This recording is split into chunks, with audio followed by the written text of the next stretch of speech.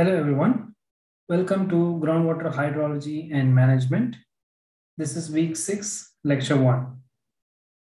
In the past week lecture, we looked at the groundwater components and we are going to move into more focused groundwater applications.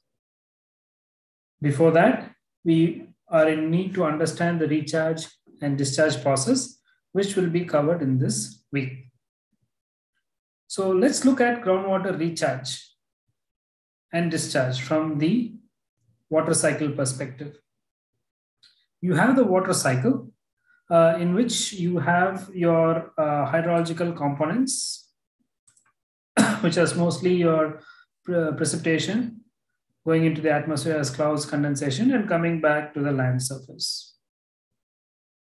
it is important to understand the key paths in which groundwater gets into the system and out of the system. So, for example, your ground is your base for understanding the groundwater hydrology, and how water gets into is quantified as groundwater recharge, and how groundwater comes out in terms of uh, uh, natural, which is seepage into the freshwater lakes springs, etc., and also to the oceans are called groundwater discharge. Now, because of recharge, they can also be discharged. Same, because of discharge, they can be recharged. We will come into how these two components are interlinked. Also, there is a human component or anthropogenic, wherein you do have groundwater recharge because of augmented recharge, induced recharge, etc. On the other hand, there is groundwater discharge through human actions, most importantly, when you pump out. So in this week's lecture, we will look at the key paths in which groundwater recharge and discharge happens. More importantly, we will look into methods to quantify groundwater recharge and discharge. In the first class of this um, week, we'll also look at how groundwater recharge and discharge forms key components in the hydrological cycle. If you look at the cycle here, for example, if groundwater recharge doesn't happen or discharge doesn't happen, what do you think will happen is that this water will never get into the aquifers, nor it gets out as base flow. So the cycle would be more faster because every water that falls on the ground would either be stored on top as lakes and rivers or it runs off back into the ocean. Whereas the groundwater recharge actually delays the water in completing this cycle. These are much, much faster time steps compared to the groundwater movement. So basically, your water goes through a slower cycle and it takes some time for recharge and discharge. If you look at here clearly, when groundwater is coming into this phase, for example, at this particular location, groundwater is recharging. And if it is taking this path to go out, it is discharging. But in between, like for example, this point, groundwater is recharging, right? Because water is flowing through, it recharges. It doesn't stay long, but then it discharges out. so this is where the connections happen. But more importantly, on this uh, water cycle that we used to see a lot of these hydrological components, groundwater is a key component without which most of these cycles would not complete itself and or it will be more flashy flashy as in quicker. So that is why i'm again saying that groundwater recharge and discharge are key components in the hydrological cycle. Let's look at what forms the basis from the hydrological cycle. Yes the water balance equation how is groundwater defined here or groundwater recharge and discharge so your del S in your hydrological cycle is the net storage in the basin. Okay. Let me draw a quick basin for you or um, uh, an area. So this is your area. Maybe it could be your watershed, basin, whatever it wants to be called. Okay. And you have del S is the net storage within this basin, del S. Precipitation is what comes in, P. Q in is what comes in as surface water. Q out is what goes as surface water. ET is loss, so it goes out. Okay, all the minuses are going out. So this is ET loss, this is your Q out. And then you have your groundwater in, which is from the basement. I'm saying, okay, this is the groundwater coming in and groundwater coming out. so I'll explain all these um, uh, terms um, in the hydrological cycle. However, for our this week lecture, these two components are very important because they define what is G in as groundwater in, which is your recharge, and G out is the groundwater discharge coming out. So for a system, you have in the hydrological cycle, in the water balance equation, a groundwater coming in, which is called recharge, because this is your system and groundwater is coming in. Actually comes from the bottom, but you can also show that just as a vector, it's moving in. Then you have groundwater out, which is you're taking out. Groundwater out can be from the bottom as groundwater seepage or pumps you take out. So del S is change in water, gives the total net water storage. It is the change in any of these components. You can have storage inside your basin um, by ways of soil moisture, surface uh, storage, or groundwater storage. G in is groundwater in, groundwater recharge to the system can also be from different basins. So it is complex to get at, which means it's not only from your hydrological basin, it could be from a different aquifer, different basin, because it moves under the basin. Okay, so on the top, rainfall cannot come from other basin to inside unless it is coming as Q in. So please understand that G in is a very complicated um, parameter. It cannot be just estimated using your basin boundary. Some water can come from more than 100 years slash kilometers. 100 years means it took 100 years to travel. So think about how far it should have traveled without all these disturbances and get into the system. So that is your groundwater in, which in this class we'll be looking as recharge. Groundwater out is the total water um, uh, of groundwater used by pumping for agriculture, industrial and domestic uses. So what happens is you have a pump and you take it out. And that is discharge because you're taking out the water for agriculture, industrial, domestic use. The other is natural. Where you have deep rooted trees like eucalyptus and plants and other things which take water out that is also kind of a discharge but it goes into evapotranspiration. So there is some uh, part of um, double calculation in these. So it's better to say et is the water taken out by plants. However when you pull the water out by trees some water is raised up in the soil and it discharges out Okay, so not all water is going to be taken by plants. So that is the small component in groundwater discharge. But most importantly, groundwater discharge happens naturally as shown in the previous water cycle by just seepage. It goes and joins the ocean, it goes joins the rivers, etc. So let's look at the area to give an idea of how uh, it looks like in terms of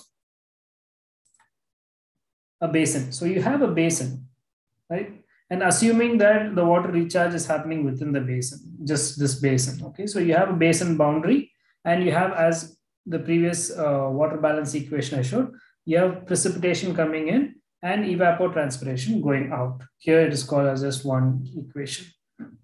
Then you have Q out, which is your surface water going out. There is no Q in because it is a basin closed for the water to come in. What you see here is there is a recharge area. So when precipitation is falling on a particular area all this area is contributing to recharge. So this is the area for recharge. Whereas for discharge, it doesn't just discharge here because there's no elevation gradient or a water body that the groundwater wants to flow into because groundwater flows from high potential to low potential. So here there's no water body that flows like that. What happens is along the channel, because the channel is already in a lower elevation and the groundwater potential is high in the groundwater, low in the uh, stream, the water would discharge out. So it will move like this and come out into the river. And that is what this area is called. The dotted area is called the discharge area. Okay.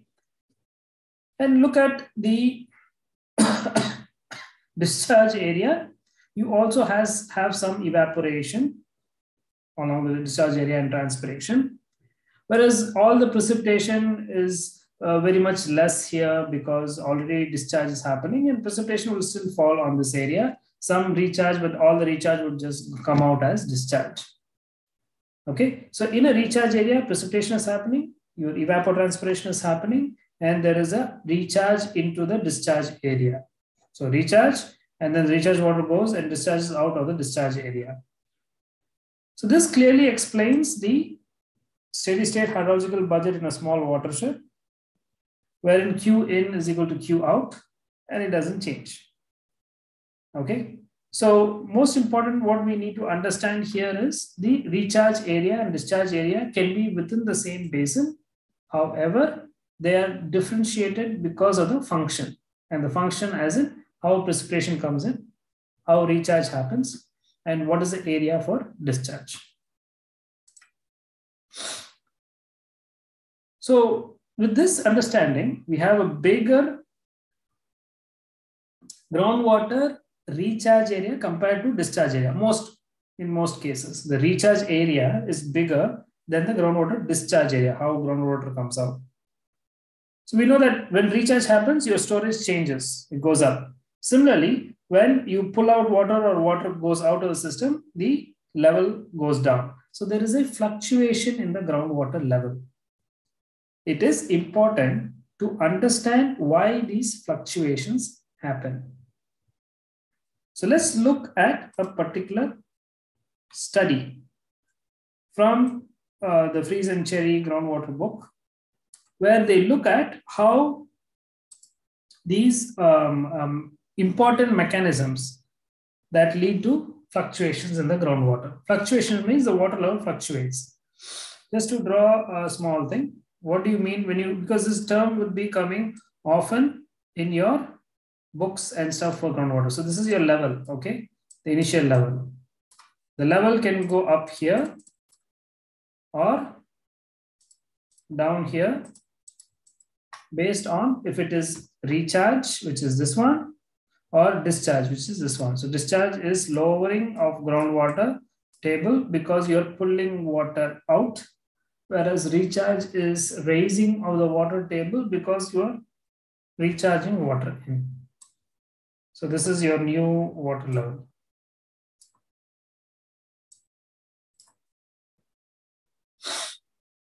I hope this is clear uh, because it is important to understand the following notations. Let's go one by one. And we know what is the difference between unconfined and confined aquifers. We know what is natural and man-induced. Natural is it happens naturally in the ecosystem, whereas man-induced is the human interface is pushing that phenomena to happen. So what do you see on your first column is your phenomenon process. And then the next set of column is whether the aquifer is unconfined or confined. Moving on, we have a next column, which is natural or man-induced to show what is a key process driver for this phenomenon. Then the next is your duration. Is it short-lived? Diurnal means mostly daily. Seasonal, you have a couple of months or long-term. And then you have climatic influences. The climatic influences could be natural or man-induced. Let's not get into that. Here it is climate how the climate can induce it. So let's look at the most important common processes that result in the fluctuation of the groundwater table or level. The first one is groundwater recharge infiltration to water table. So as I said, we do have groundwater recharge happening. So let's take this as the land uh, and then you have water coming in, right? So just change the color for this one. Yes. The first one is groundwater recharge happening, infiltrating into the water table. And this is your water table, for example. So the first process just documents the slow movement of infiltration and later percolation into the groundwater table. It can ha happen only in the unconfined aquifer. Why? Because let me also draw the um, unconfined and confined aquifer. So this is the second layer which has a thick impervious surface and this is your one and two. Okay and this is your bottom layer. Bedrock. Great. So let's move uh, on the first uh, groundwater table. The groundwater recharge moves through from rainfall or some other water applied like irrigation. Uh, you have a tank which is uh, leading into a canal irrigation or just water flowing on top. Water can irrigate like gardening and etc. Right. So that water can infiltrate into the ground and raise the water level. That can happen only in the unconfined layer because the unconfined layer is open to infiltration, whereas the confined layer is not going to change. So there is no tick mark. There's only a tick mark in the unconfined layer. Is it natural or man-induced? Mostly. So yeah, there could be some man-induced, like you can push water through focused infiltration processes, but in general, in general, it is nature, natural based process. Because of soil, because of rainfall, because of gravity, you have infiltration. And that actually raises your water table. Okay. Be man-induced. Let me put a small tick here just to show that you can have groundwater uh, recharge uh, networks, surface ponds, okay, farm ponds, etc. that we saw, we will be seeing uh, everything is there. Is it short-lived, diurnal, or seasonal? Mostly it is seasonal because a rainfall happens not very short-lived. It is not daily, uh, just within a day it will change. It is a seasonal pattern, okay? Not long-term because every season you do have recharge. Is it influenced by climatic factors? Yes.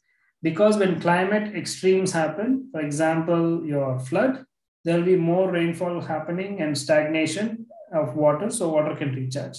What happens in the drought, which is also climate extreme? There is no water. When there's no water, there's no recharge. Then what happens is um, you have extreme events also and a slow tapering event, which is your increasing, increasing rainfall, not a flood, flood I'm saying, but rainfall is increasing and your temperature is increasing. So when you have high temperature, water is less, so infiltration is less because all the water will be evaporated. So all this is the first row, which talks about groundwater recharge through infiltration, which affects your fluctuation in the water table, can happen through climatic factors. Moving on, the second one is air entrapment during groundwater recharge. So think that when groundwater is coming, uh, your recharge is happening by one, the first process. Okay, so when groundwater recharge is happening, and we have to thank uh, Freeze and Cherry's book, which has documented everything very uh, meticulously. These co constitute all the major processes for fluctuation of water table in the water cycle. And we can differentiate that as recharge and discharge. Okay, so a big thanks to the book. And we will look at the first thing, which is air entrapment during uh, groundwater recharge from the recharge. So the first one was the recharge. And then while the recharge is happening, think about this. You have land. Inside you have soil with porous space. And the space has air or water or none. Okay, a combination of both or none. Suppose the air uh, is present in the porous space. So when water comes in, the air either has to be displaced Okay, so the air sometimes get entraps during the groundwater recharge. How does that influence your water table? Basically, you have less water going into the water table to have fluctuation, or the water bubble can go into the water table and raise it until the bubble breaks. Okay, so that is only in the unconfined layer, only in the top layer it happens, it doesn't go in it doesn't go in the confined layer because air moving that far it cannot. Because by the time it moves into the small small pores and goes down it's ripped into very small particles and it doesn't become a bubble kind of thing or entrapment. It is purely nature based because water is being pushed by the groundwater recharge.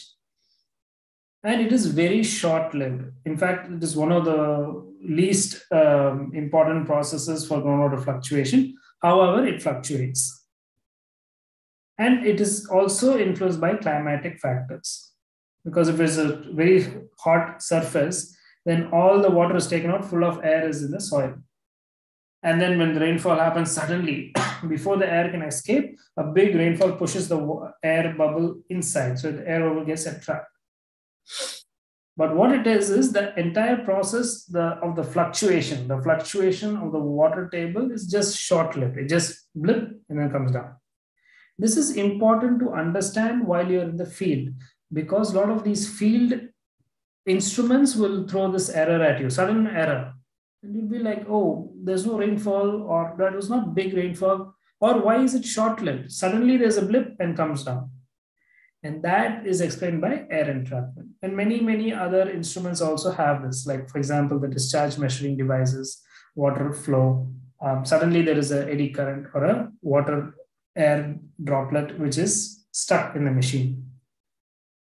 The next one is evapotranspiration and free, uh, phreatophytic consumption. Okay, let's just keep it as plant consumption. It happens in the unconfined layer. Again, we're talking about plants and trees that are accessing water only from this layer. So when they pull the water out, eventually your groundwater table goes up and down. It goes up slightly when the water comes in because of the pull, but most importantly, water is pushed down. The water level is coming down because more water is being sucked out. So this happens also as a phenomena in the unconfined aquifer. It is by natural based system because plants are nature based systems. It is not short lived. Uh, it is diurnal. Why diurnal? Because the growing cycle is also diurnal, right? Because the plant sucks the water only in the daytime when transpiration happens. After that, it shuts down. So suddenly you see a groundwater plummet and then it slowly comes up. Comes down, goes up. Comes down, goes up. And this sinusoidal nature of the water table mimics your water use of the plant. Okay, when the plant takes more water, it goes down. And when plant shuts down, sun shuts down, there's no photosynthetic reaction taking place, then the water recharges up. Moving on, uh, then it is also influenced by climatic factors because when there is uh, different climatic pressure on the plant, the plant water consumption is different. Bank storage affects near streams. So for example, you have a stream, you have a river flowing. Near the river, there could be some water stored because of the flood. Okay, a flood, big flood is coming and the bank is full of water. That can also influence your unconfined aquifer, the first layer in the aquifer, because the water can raise based on the bank water storage amount. It is purely a nature-based system and it is seasonal because your river will have water only during seasons. When there's no water flow in the se season, uh, there is no water in the river and it is dry. So the water table is down. Once water flows from the from your river channel, from your bank, water, water will come down into the groundwater aquifer and recharge your aquifer. It is also influenced by climatic factors because based on the climatic factors, you have water coming into the river. Because if there's a big rain, a lot of water will come in the river. And that water will flow as flood, and the flood will induce recharge. Tidal effects near oceans, similarly. Okay, similarly, you have big what waves, big tides that will come and hit the coast. Uh, and that happens in a cyclic pattern also during certain periods of the month you have a bigger tide and then small tide, big tide, small tide. So when this big tide comes, more water reaches the shore and that water can recharge. So that is also a unconfined aquifer effect. But because the volume of water is too big and it pushes, the water comes in a big uh, force, it can also impact your unconfined aquifer. So both unconfined and confined aquifer can be influenced by this tidal effects. It is a purely nature-based uh, system, even though man-induced climate change and other things can happen. And it is diurnal nature. If you go to the beach, you'll see that during the night, the wave is high. Okay, during certain peaks of the month, it is high. So it's not a seasonal, it is between the seasonal and diurnal. Diurnal is daily. Okay, seasonal is a couple of months once. So you could see that uh, the water recharge through tidal can happen in a nature-based system. It is uh, diurnal daily. It happens because day, night, day, night. Okay. And it may or may not be influenced by climatic factors. Atmospheric pressure effects. So when the atmosphere pressure is different, water can come out because water flows from high potential to low potential. For example, outside the well, if the atmospheric pressure is low compared to high pressure of the water inside, then water flows from high pressure to low pressure. You have automatically flowing wells, which are called artesian wells. We saw this in the first couple of classes. Okay. And that is uh, purely happening uh, as a climate influence factor because the climate changes your um, atmospheric pressure. It can happen from unconfined or confined aquifers basically where your well is placed. Okay. And it can happen from that uh, aspect also.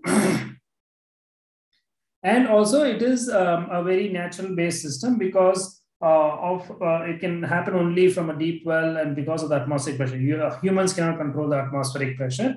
It is diurnal in nature and can be influenced by climatic factors. Diurnal because every day, uh, in some aspects, it can happen external loading of confined aquifers. So you have unconfined and confined aquifers, but external loading can happen. You can you can um, put pressure on the aquifer, uh, and as the name suggests, it is only going to be in the confined aquifer. Okay, only confined aquifer layer is there. And as an external loading happens, it can happen naturally, but only once. It's not a big thing to record.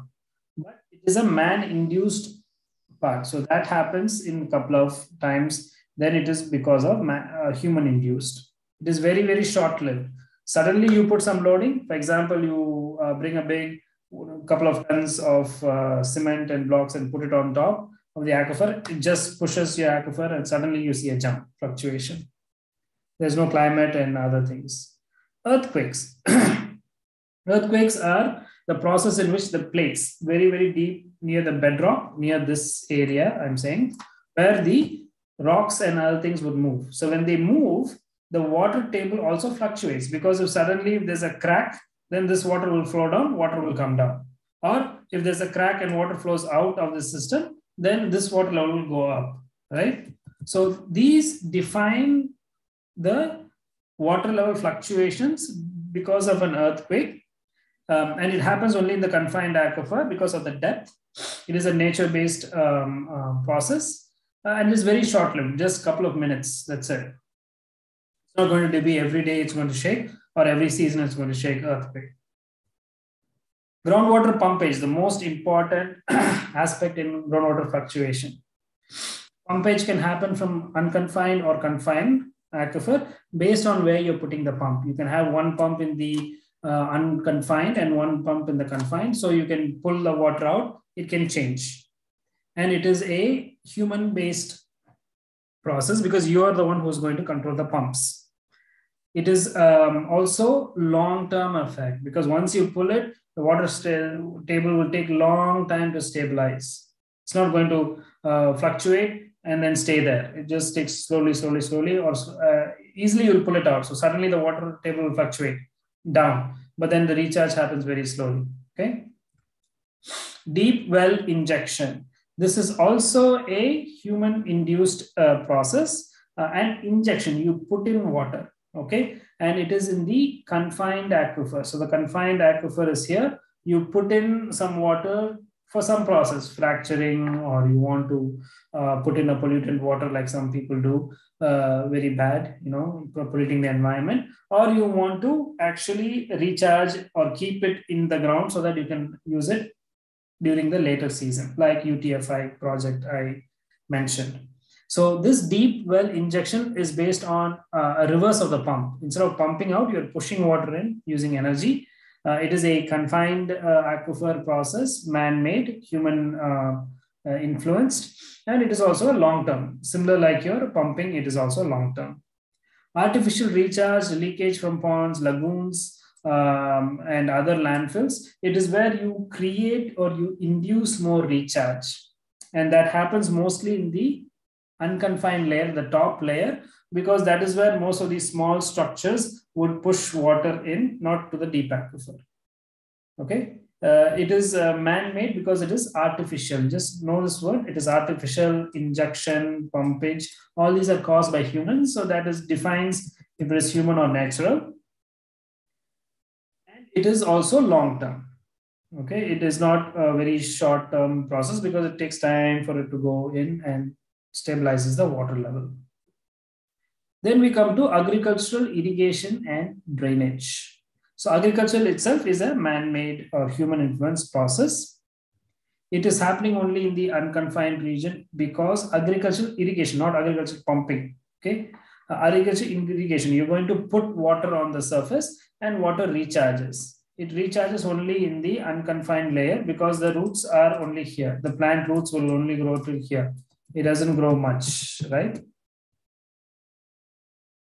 It is a man-made because agriculture is not uh, a natural process.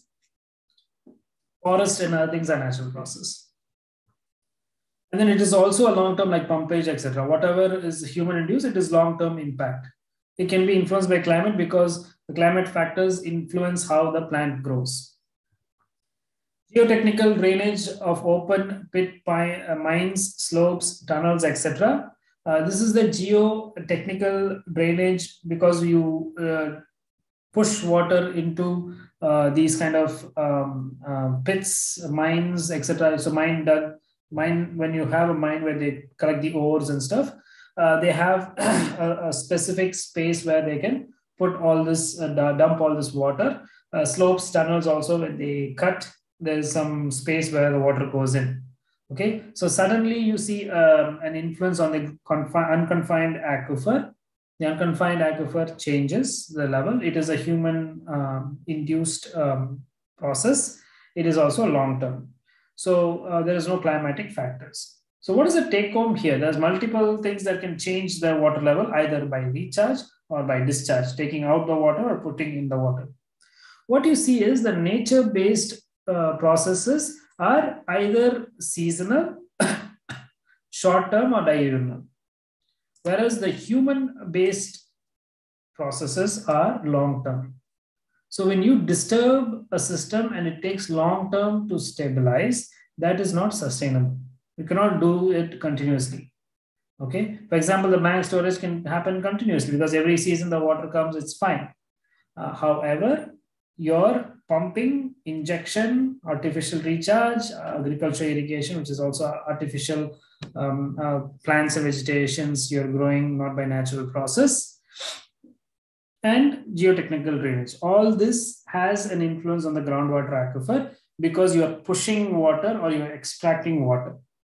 And the more key uh, driving home message or the drive home message is these take time. It is also influenced by climatic factors, but most importantly, it takes a long time for the water to stabilize, the fluctuations to stabilize. So you cannot plan what is going to happen next. If I take too much water, the water level comes down. Um, and before I know how much water is there, I again pump and again pump. And that is why the groundwater resources are very low in the country, especially India, where most of the groundwater is extracted. I hope these messages were clear to understand, um, you know, all the um, important uh, process through which fluctuations happen. I will see you in the next class where we go on to discuss each one process in particular because recharge is different than discharge. So we'll go on into see how recharge happens and how are they estimated. Same way we'll go to discharge and see how discharge happens and how it is estimated. Thank you. I will see you in the next class.